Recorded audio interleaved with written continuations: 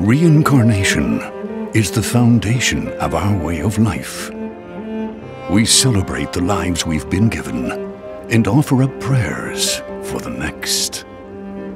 It is grief of death which shackles the living and causes the dead to stray.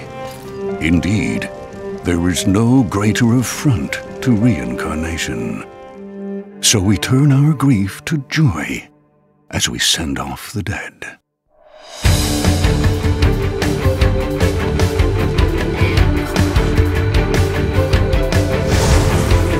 But the souls of those who held back their tears in life still need salvation in death.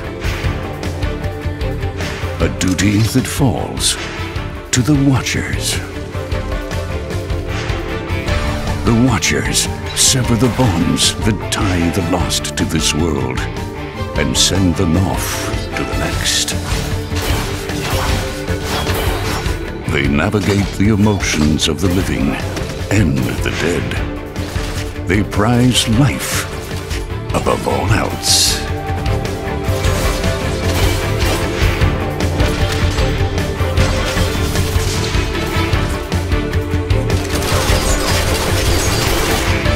This is the story of one watcher.